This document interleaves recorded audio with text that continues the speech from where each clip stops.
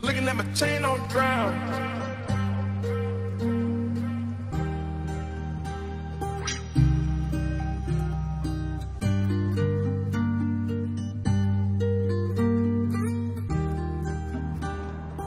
On to Butler oh, Oyedeji.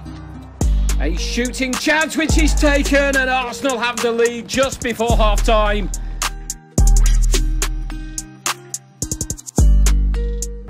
Aziz with the Arsenal corner whipped in into the near post. May still fall and does to Butler Oyedeji.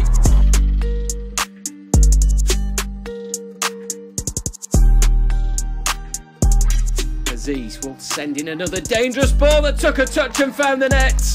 And it's Nathan Butler Oyedeji once again.